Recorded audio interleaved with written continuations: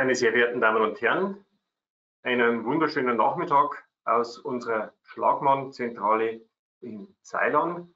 Ich darf Sie ganz herzlich im Namen der Schlagmann-Akademie begrüßen zu unserem Dienstagswebinar, wie jeden ersten Dienstag des Monats um 16 Uhr, heute zu dem Thema Einfach massiv bauen, Low-Tech-Gebäude in der Praxis. Mein Name ist Robert Hummel, Schlagmann Bauberatung. Ich führe Sie heute durch das Thema die nächsten 40, 45 Minuten und mit mir am Start ist mein Kollege Benedikt Bittmann, ebenfalls Schlagmann Bauberatung. Wir sitzen heute nebeneinander.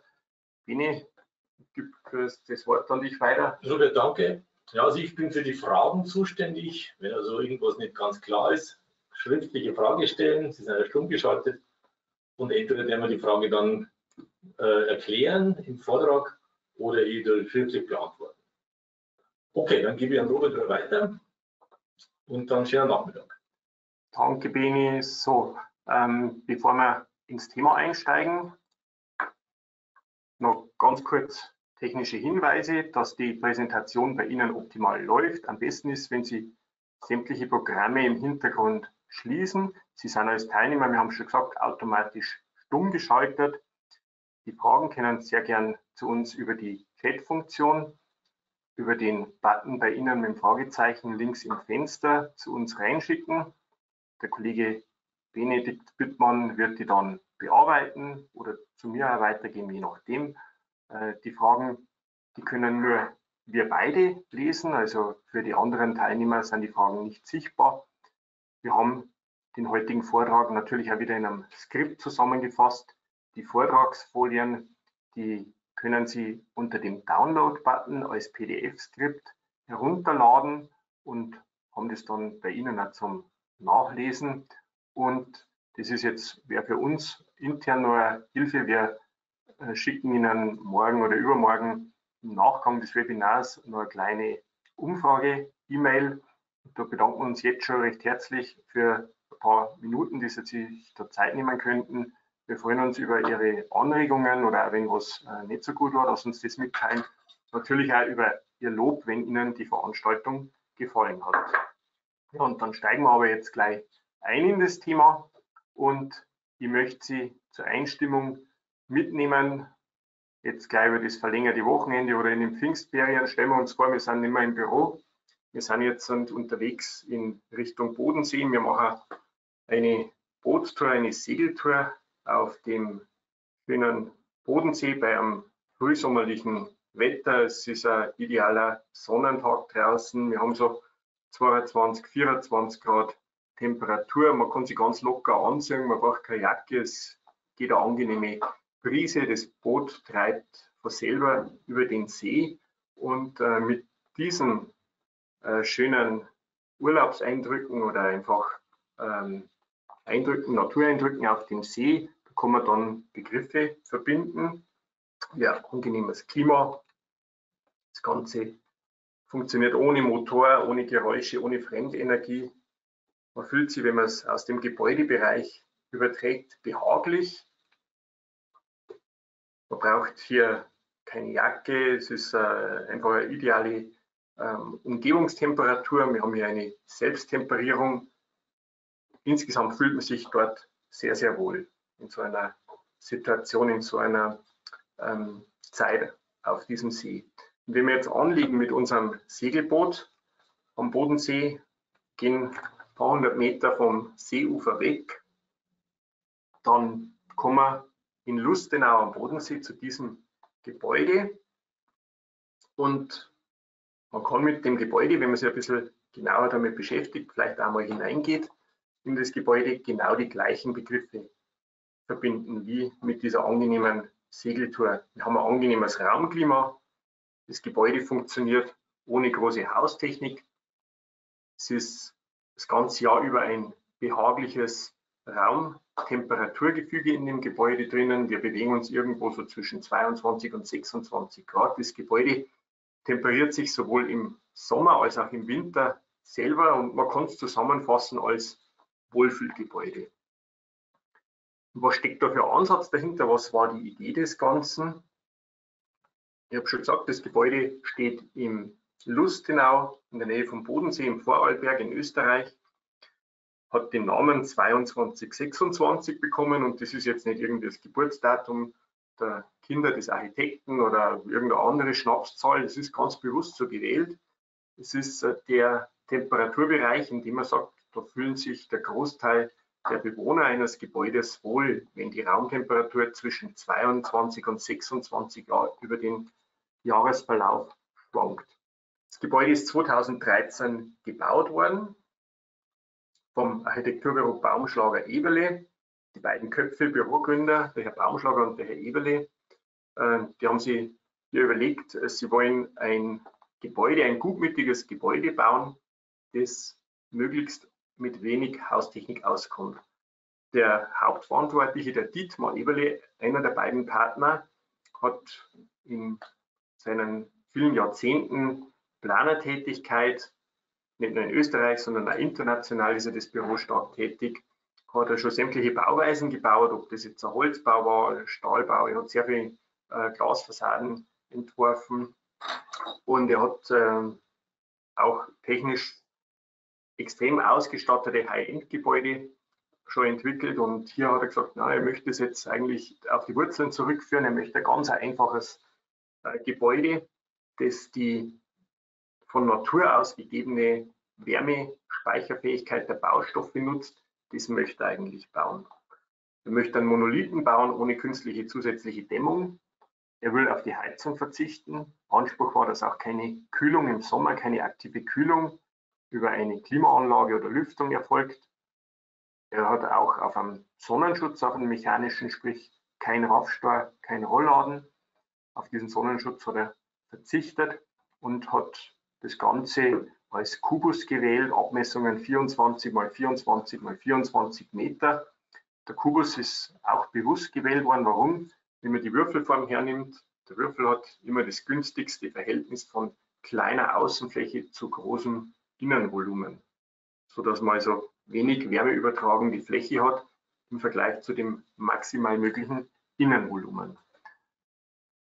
Und jetzt schauen wir gleich mal auf die Baustelle. Wie hat das damals während dem Rohbau ausgeschaut vor gut zehn Jahren? Das ist jetzt der Blick auf die Außenwand und da fällt jetzt sofort auf, es ist keine Standardaußenwand, keine einschalige Außenwand mit Wanddicke 36,5 42,5 oder 49. Wir haben hier dickere Außenwand, nämlich sind zwei Außenwandziegel aneinandergesetzt worden, so dass sich hier eine Außenwanddicke von 2 x 38 cm, also 76 cm ergibt. Warum ist das so gewählt worden? Der Herr Eberle wollte maximale Massen zur Speicherfähigkeit auch in der Außenwand. Er wollte eine schwere Außenwand bei gleichzeitig optimalen Wärmeschutz. Wir sind hier bei einem U-Wert von 0,12, der sich aus dieser Wanddicke und den hochwärmedämmenden porosierten Ziegeln ergibt, also deutlich unter dem Passivhausstandard, der ja in der Größenordnung 0,15 liegt. Für die Innenwand ist er etwas weniger porosierter, etwas schwererer Ziegel mit einem geringeren Lochanteil gewählt worden. Der übernimmt die Tragfunktion des Gebäudes und die Funktionen eines guten Schallschutzes zwischen den Geschossen. Und außen ist ein hochwärmedämmender, ungefüllter Ziegel vor das Gebäude quasi als Verkleidung gesetzt worden. In dem Fall sind die Ziegel halb hoch gegeneinander versetzt worden, die einzelnen Ziegelreihen. Das ist aber, hat keinen besonderen Grund. Das ist eben bei diesem Gebäude halt so gewählt worden. Wir sehen halt noch andere Beispiele. Da ist die Ausführung leicht anders. Der Grundansatz ist aber auch bei den Beispielgebäuden, die wir uns noch miteinander anschauen, immer der gleiche. Und äh, warum haben wir hier das Ziegelmaß 38 cm? Das hat einfach nur den Hintergrund, das Gebäude ist in Österreich gebaut. In Österreich ähm, weicht man vom oktametrischen Ziegelmaß, sprich 30, 36, 5, 42, 5 wie in Deutschland. Da weichen die Österreicher ein bisschen ab und haben eben hier statt dem 36, 5 das 38er Format. Wir schauen uns weiter noch ein Rohbaubild an. Wir nehmen jetzt nur die Innenwand dazu. Gleiche Stelle, gleiches Detail. Also auch die Innenwände sind hier schwer in schwerer Ziegelbauweise ausgeführt worden und die Geschossdecken als Betondecken, bewusst als Betondecken in der Wanddicke 5 und in der Geschossdeckendicke 25 cm, dass man eine hohe Wärmespeicherfähigkeit auch über die schweren Geschossdecken erreicht. Hier nochmal zwei Bilder auf den Rohbau. Sie sehen hier die Deckenkonstruktion, das sind ganz einfache Halbfertigteildecken, Standarddeckenaufbau, der hier zum Einsatz gekommen ist. Man hat keine Klimadecke, Sie sehen keine Lüftungsleitungen in der Decke oder Kühlleitungen, das ist alles nicht erforderlich. Auf die filigrane Elemente ist einfach dann der Aufbeton noch ausgeführt worden. Sie sehen hier auch nochmal einen Blick auf die Innenwände, die zu dem Bauzeitpunkt gerade erstellt worden sind. Und das war jetzt auch keine besondere Baufirma, die das gemacht hat, einfach eine regionale Baufirma im Vorarlberg. Die haben das ganz normal mit ihren Standardbauteilen und Standardbaustoffen ausgeführt. Einzig, dass die Baustoffe dicker sind als normalerweise, als, als üblich eingesetzt und ähm, höhere Rohdichten aufweisen. Insgesamt hier schon die Zusammenfassung an der Stelle. Es geht immer um den Ansatz schwere Bauteile mit hoher Wärmekapazität, sprich hoher Wärmespeicherfähigkeit. Das ist der Grundgedanke, die Grundphilosophie, die hinter diesen Low-Tech-Gebäuden steckt. Low-Tech heißt, wir haben wenig Haustechnik und das ist die einzige Haustechnik, die es in dem Gebäude gibt. Wir müssen hier nicht in einen Technikraum oder in eine Heizzentrale schauen, sondern einzig über die bodentiefen Fenster, die ganz weit innen angeschlagen sind, das seht schon, die sind also bündig innen mit der Innenkante des Außenmauerwerks angeschlagen, wird der Sonnenschutz schon optimal eingestellt.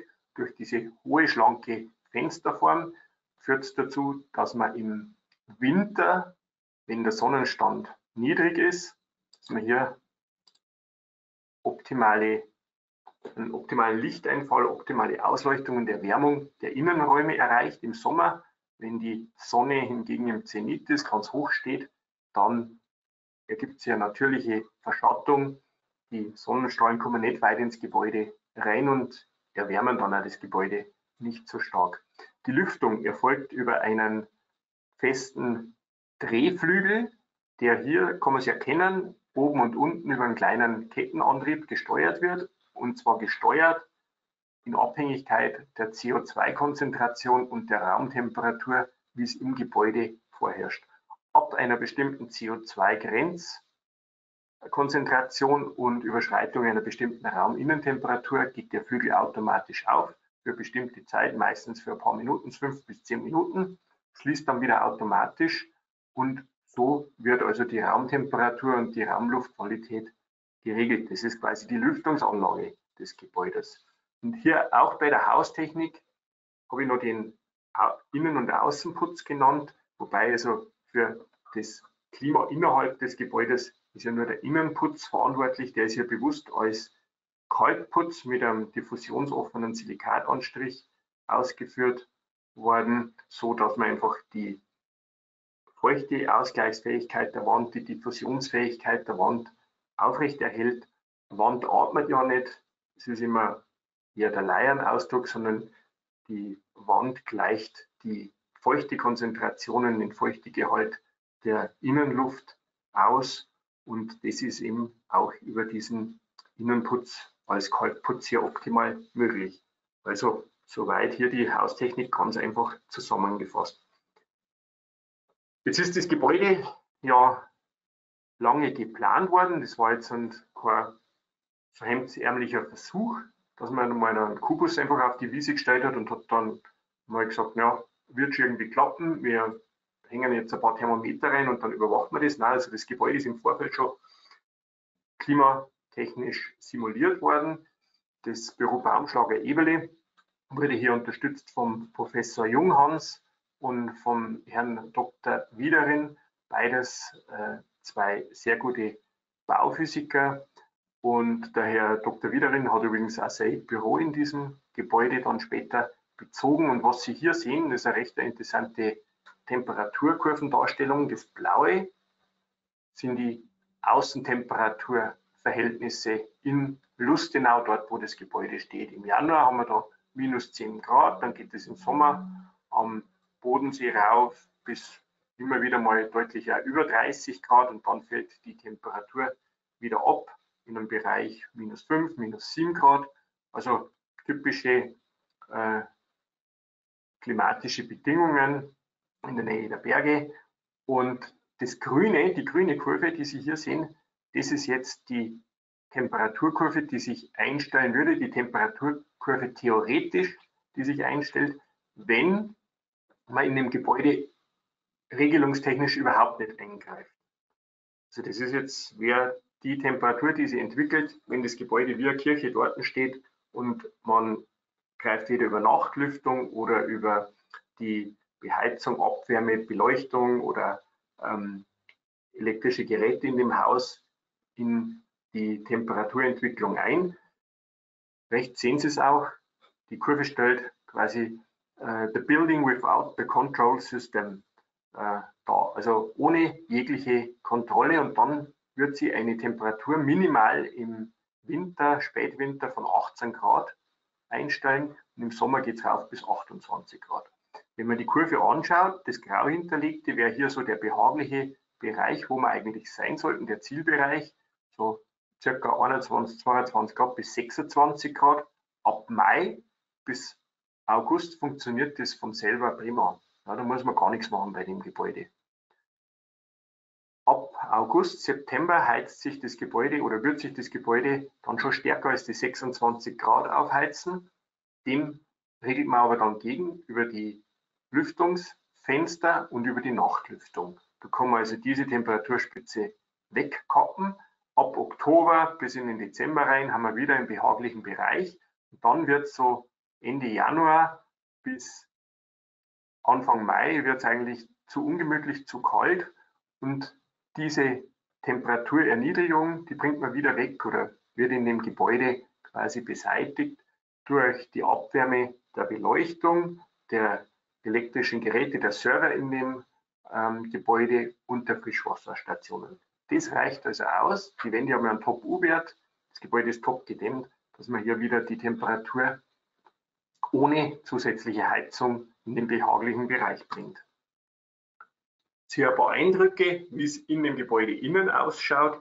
Im Erdgeschoss ist eine Galerie untergebracht.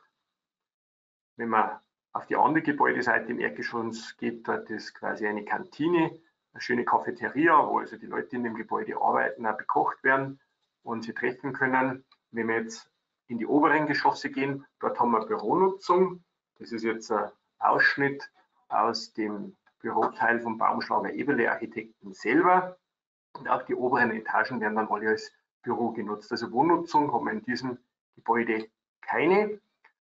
Ja, und vor gut zehn Jahren war das also schon eine absolut interessante, spannende Geschichte, ist es immer noch.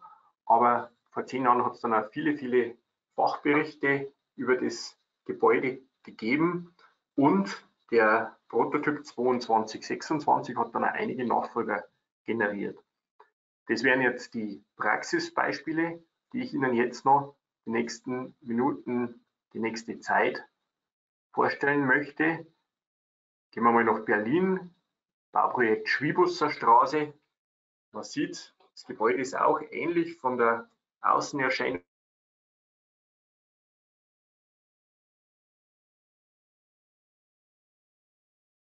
wie das 22, 26 in Lustenau, ist kein Zufall, ist auch vom Baumschlager Eberle abgewandelt. Die Fenster haben nicht mehr ganz die konsequente hohe bodentiefe Form. Allerdings die Fenster sind wieder eine außergewöhnlich dicke Außenwand mit einem sehr guten U-Wert wieder. Also die Grundkennzeichen des 22, 26 sind auch hier übernommen worden. Das wären jetzt die Kenndaten für das Projekt Schwibusser Straße zusammengefasst. Wir haben das Baujahr 2021, also vor drei Jahren fertig geworden. Hier wird wieder das Baumaterial als Wärmespeicher und als Kühlmedium genutzt. Innenputz ist wieder ein Kalkputz. Die Verschattung läuft nur über die tiefe Anordnung der Fenster mit Innenanschlag. Wir haben also keine zusätzliche Verschattung. Das Gebäude ist nicht gekühlt. Es ist wieder ein reiner Monolith ohne zusätzliches Wärmedämmverbundsystem. Aber das ist jetzt die kleine Besonderheit hier oder die kleine Abweichung vom Gebäude in Lustenau. Wir haben hier schon eine Fußbodenheizung, die mit einer kleinen Luftwasserwärmepumpe und eigener PV am Dach größtenteils gespeist wird. Warum? Ja, dem Bauherrn, der Bauherr wollte einfach hier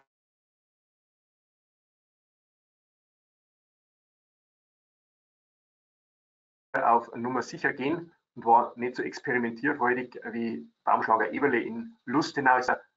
Zu 100% sichergestellt sein, dass an keinem Tag die 22 Grad Innentemperatur unterschritten werden. Und wenn man das wirklich dann langfristig garantieren will, dann muss man also hier zu einer relativ kleindimensionierten Flächenheizung zum Beispiel greifen. Dann funktioniert aber das Ganze ebenfalls sehr gut. Baumschlager Eberle hat noch weitere Objekte, die immer wieder das gleiche Grundprinzip anwenden, zwischenzeitlich schon gebaut. Und ich gehe da am Schluss auch noch kurz ein, wo Sie das sich selber noch anschauen können.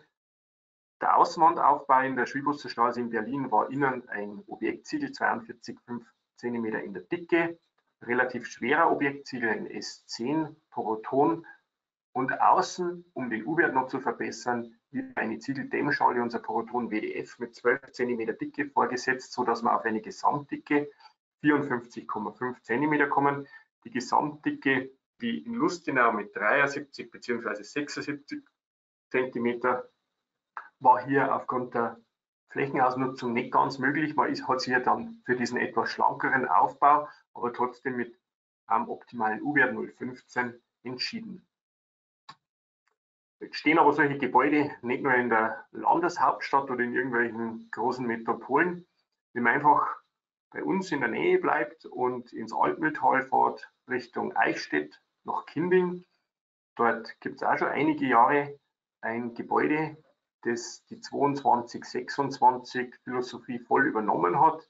Das Gebäude gehört der ETS-Didaktik und der Geschäftsführer, sehr technikbegeisterter und äh, innovativer Kopf hat hier mit einem Architekten aus dem Altmühltal, regionalen Partner, genau dieses Konzept konsequent verfolgt für seinen Büro- und Schulungsgebäude Neubau.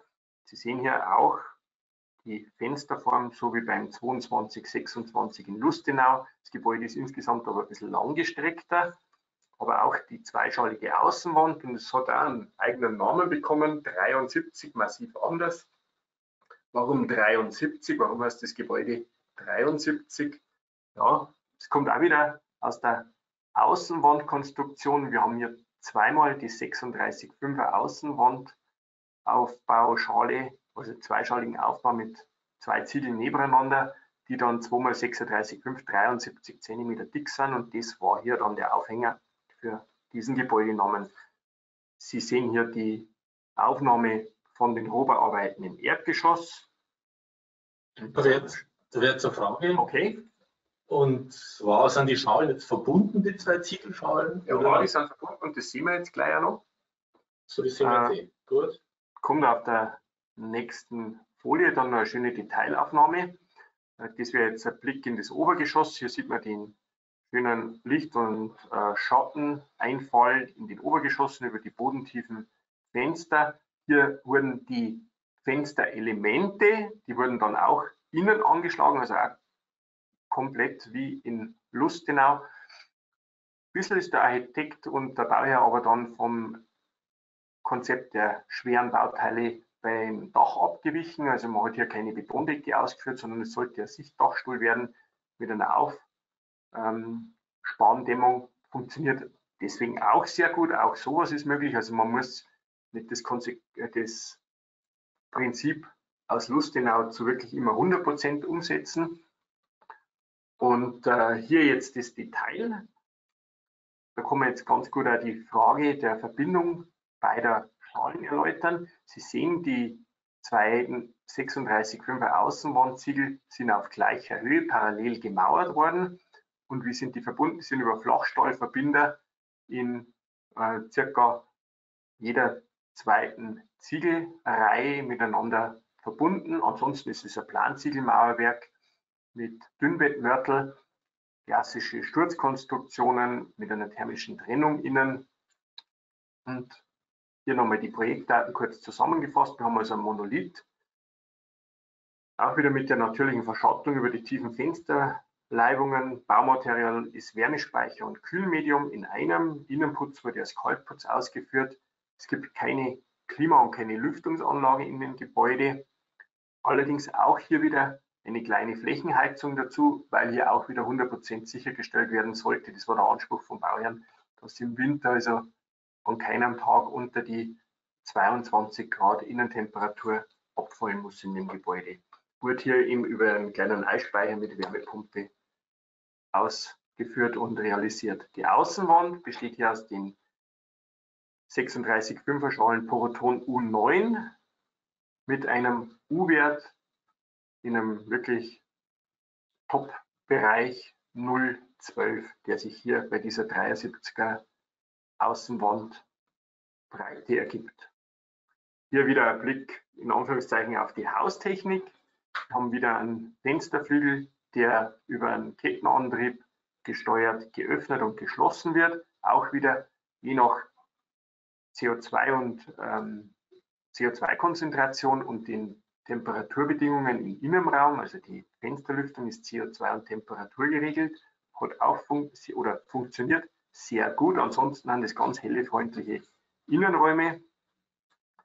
Und dass das System funktioniert, das sieht man bei einem Gebäude, bei einem Projekt immer dann, wenn es einen Bauabschnitt 2 gibt, wenn sich der Bauherr oder die Nutzer entscheiden, das Ganze nochmal so durchzuführen. Und das Gebäude hat einen Zwilling bekommen, und zwar im Jahr 2022, fünf Jahre später, ist also das zweite Schulungsgebäude Kinding 2 gebaut worden mit genau der gleichen Planung, dem gleichen äh, Architekten Paulus Eckerle aus dem Altmühltal, mit der gleichen Baufirma und den gleichen Handwerkern. Also der Beweis, dass das System einfach sehr gut funktioniert.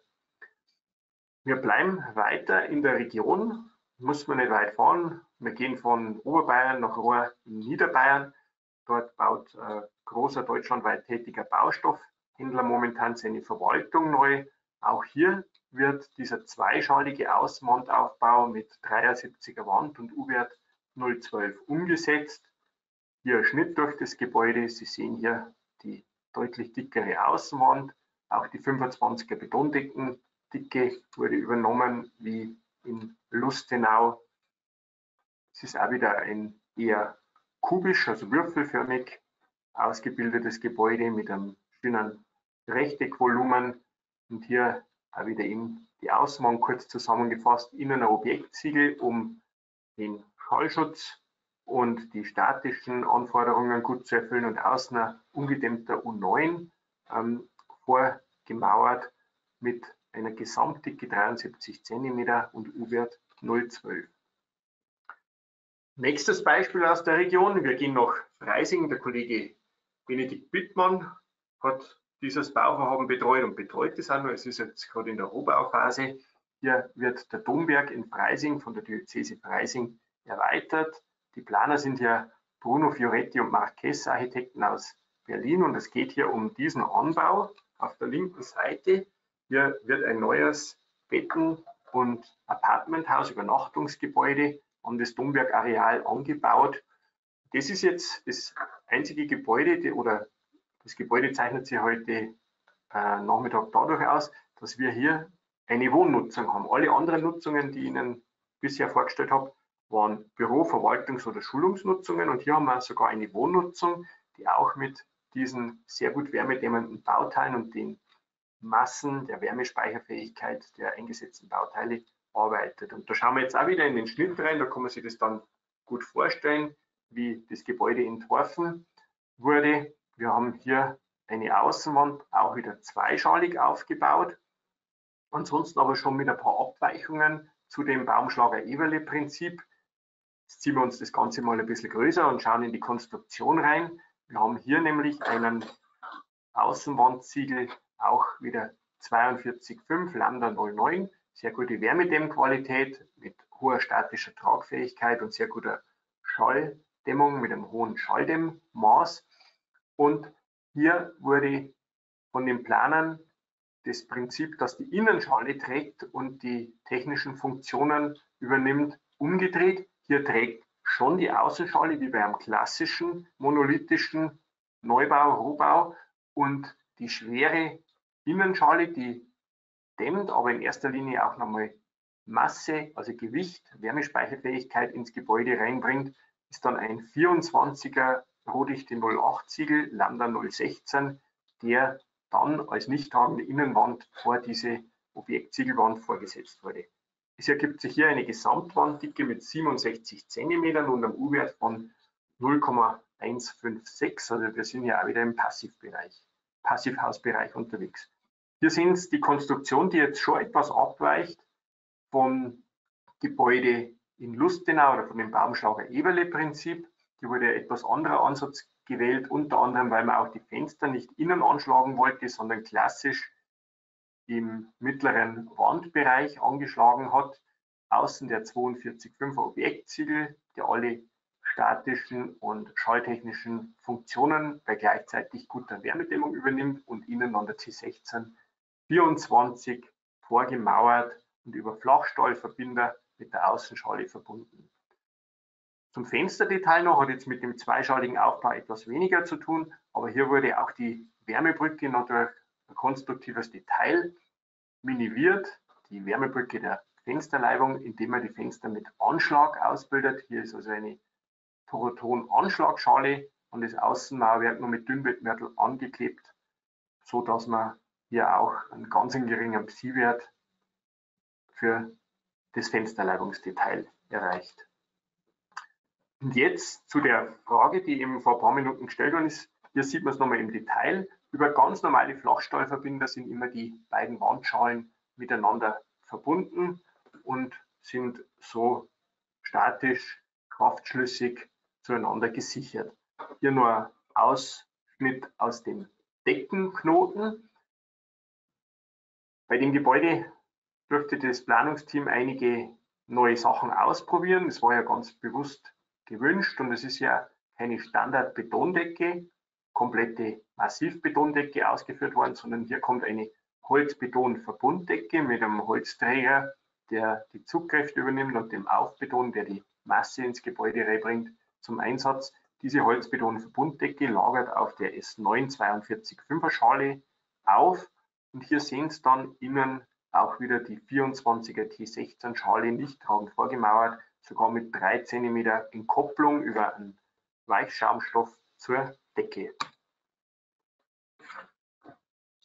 Und die Idee wird also nicht nur von einigen Architekturbüros aufgegriffen. Das freut uns ganz besonders, dass auch in der Hochschularbeit, in der Ausbildung des Bauingenieur-Nachwuchs diese Idee ganz spannend gefunden worden ist und äh, bearbeitet worden ist unter anderem an der OTH in Regensburg mit einer Bachelorarbeit Aufgabenstellung Schule ohne Heizung.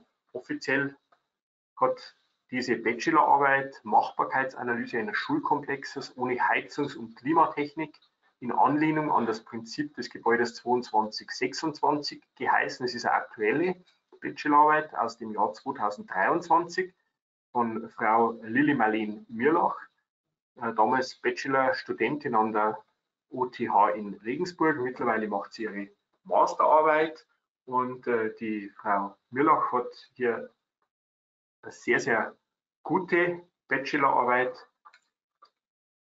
ähm, erarbeitet, die dann auch vom Bayerischen Bauindustrieverband mit dem Hochschulpreis 2023 honoriert und ausgezeichnet worden ist. Also besonders gute äh, Arbeit, die sie wirklich fachlich absolut hervorhebt. Und ich möchte hier nur ganz kurz auf die Zusammenfassung von Frau Mirlach eingehen. So hat das Gebäude ausgeschaut. Also es ist ein fiktiver Baukörper gewesen, der untersucht worden ist. Ein Kubus für eine kleine Grundschule mit vier Klassen und Funktionsräumen. Und möchte nur hier ihre Zusammenfassung zeigen, die sie bei ihrer Präsentation in München zur Preisverleihung gehalten hat. Die Ergebnisse, die sie erzielt waren. Die energetischen Anforderungen nach dem Gebäudeenergiegesetz sind für dieses Gebäude auch ohne zusätzliche Heizung über die sehr guten Dämmqualitäten und Speicherfähigkeiten erfüllt.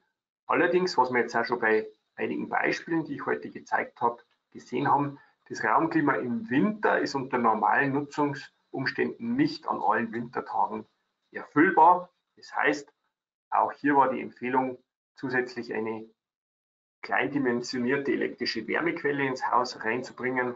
Das kann jetzt ähm, sein, eben auch über ähm, elektrische Wärmedämmplatten oder über ähm, elektrische Flächenheizung oder über eine, zum Beispiel Vorschlag war, kleine Luftwasser Wärme, äh, eine kleine Luftwärmepumpe, also ähm, die Aktivierung über Fußbodenheizung war hier gar nicht erforderlich. Und zusammengefasst hat die Frau Mirlach das Ganze dann, Schule ohne Klimatechnik, ohne Lüftung ist auf jeden Fall möglich. Schule ganz ohne Heizung, nur bedingt möglich. An wenigen Tagen braucht man also schon Unterstützung eine kleindimensionierte Heizung, aber durch das sehr gute energetische Gebäudeplanungsniveau können, das ist auch sehr, sehr wichtig für den Unterhalt, für den Betreiber, für die Gemeinden dieses äh, Schulgebäudes, können die Gebäudebetriebs Be Gebäudebetriebskosten sehr gering gehalten werden. Wenn Sie das ganze Thema jetzt spannend finden und Sie da noch selber weiter damit beschäftigen wollen, da gibt es sehr gutes Infomaterial. Ich möchte als erstes mal auf die Homepage 2226 von Baumschlager Eberle Architekten verweisen. Dort sind das 2226 Originalgebäude und dann einige schon gebaute Nachfolgegebäude sehr schön dargestellt. Dann gibt es zu den 2226 auch ein sehr interessantes Buch, Die Temperatur der Architektur, mit vielen Berichten zum Gedanken, zur Idee, die hinter dem Gebäude steckt, zur Bauausführung des Gebäudes und ähm, dann später auch zum Monitoring des Gebäudes, wie das Gebäude dann auch tatsächlich in der Praxis funktioniert hat. Und wir vom Schlagmann haben für das ETS-Didaktikgebäude in Kindung zusammen mit dem Architekten Paulus Eckerle ein Buch veröffentlicht unter dem Namen 73 massiv anders, auch mit vielen Bildern, wo Sie also die praktische Ausführung dann gut nachlesen können. Wenn Sie Fragen haben, wir stehen Ihnen in der Schlagmann Bauberatung wie gewohnt hier sehr gerne zur Verfügung und ähm, ich möchte dann das heutige Webinar noch. Es gibt nur zwei Fragen. Also, okay. Ich habe jetzt gewartet, bis du ja. bist mit dem Vortrag. Mhm. Die erste Frage war nochmal die, die Verbindung zwischen den zwei Schalen. Mhm. Beim ersten Gebäude waren ja die Ziegelhöhen versetzt, mhm. sind Lustenau. Mhm wie sind sie denn da verbunden worden, die Schalen? Da sind die Schalen über die Betondecken miteinander verbunden. Die Schalen sind quasi über die Betondecken gefasst. Okay. Und, Und sind nicht direkt untereinander verbunden. Dann ist eine wichtige Frage zu dem Preis, zu den Kosten. Mhm.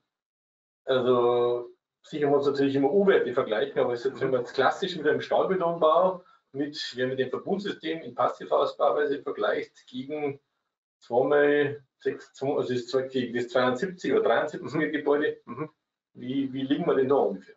Mhm.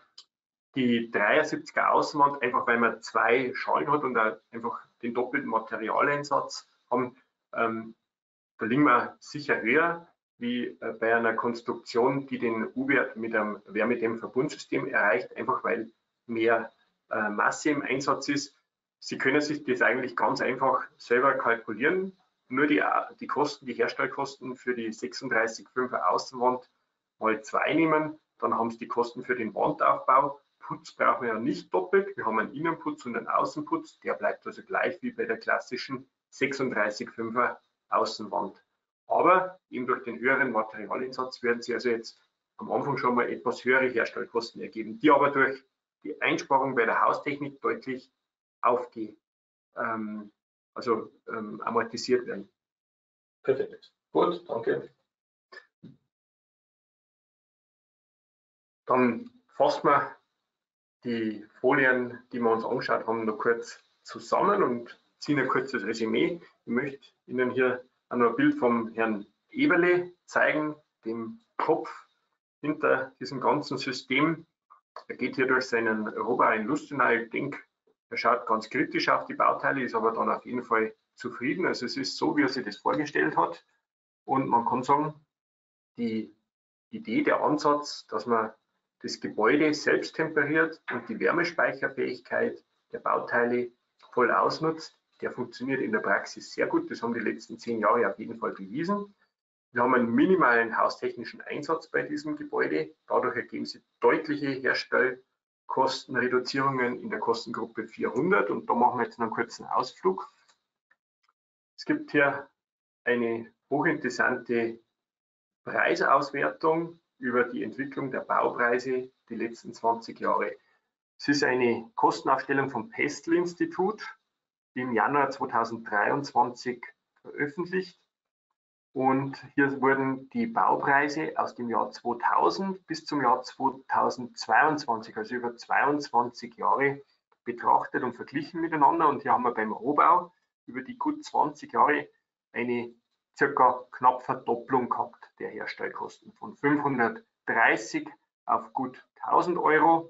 Beim Ausbau eine gute Verdopplung von 330 Euro pro Quadratmeter Wohnfläche auf 750 Euro.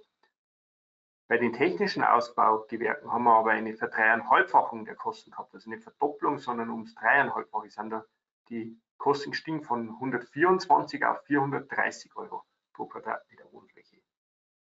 Das denkt sich jetzt auch, denke ich, mit Ihren Erfahrungen, dass die Haustechnik, also alles, was mit Heizung, Lüftung, Sanitär zu tun hat, überproportional die letzten Jahre preislich angestiegen ist. Und hier haben wir dann einen entsprechend großen Hebel, die Kosten zu reduzieren. Weiter ergeben sich natürlich geringe Unterhaltskosten. Das ist immer ein Vorteil bei dieser Bauweise. Alles, was ich nicht an Technik habe, produziert keine Kosten. Nicht nur in der Herstellung, sondern auch im Betrieb. Kann auch nicht kaputt gehen. Wir haben ein behagliches Raumklima. Wir haben eine absolut regionale Bauweise. Der Ziegel kommt normalerweise direkt aus der Region, wird nicht weiter als gute 100 Kilometer äh, transportiert. Wir haben langlebige Baustoffe, wir haben einen absolut simplen Bauteilaufbau, man braucht keine Spezialisten für diese Ausführung. Ganz normale ähm, Baumeister bauen dieses Haus und insbesondere wenn man sich für einen Gebäudeentwurf, für eine Verwaltungsnutzung, Büros oder Schulen interessiert, ist das auf jeden Fall ein ganz guter und intelligenter Ansatz, eleganter Ansatz, hier ein sehr wirtschaftliches Gebäude zu erstellen. Wenn Sie noch Fragen haben, mein Kollege, der Benedikt Bildmann, als auch ich stehen Ihnen sehr gern zur Verfügung. Im Skript sind unsere Kontaktdaten auch mit abgedruckt und äh, unter der Telefonnummer unserer Bauberatungshotline können Sie jeden Tag anrufen. Sie bekommen hierzu auch Auskünfte und äh, unsere Hinweise zu dem Thema. Und dann möchte ich an der Stelle noch auf das nächste Webinar hinweisen. Am Dienstag, am ersten Dienstag im Juni um 16 Uhr, gleiche Zeit, gleicher Ort. Dann zum Thema Luftdichtheit von Gebäuden in Ziegelmassivbauweise. Und äh, ich schaue gerade auf die Teilnehmeranzahl. Wir waren heute 90 Teilnehmer, sehr erfreuliche Teilnehmerzahl. Wenn Sie Interesse haben, wählen Sie sich einfach kostenlos am 4.6. wieder mit ein. Dann bleibt mir nur, dass ich mich herzlich bedanke für Ihre Aufmerksamkeit. Es hat viel Spaß gemacht und ich würde sagen, wir beide verabschieden uns jetzt, oder? Ja, genau, wir verabschieden uns wieder und sehen uns vielleicht in vier Wochen wieder. Genau. Alles klar. Schönen Nachmittag. Viele Grüße, schönen Nachmittag.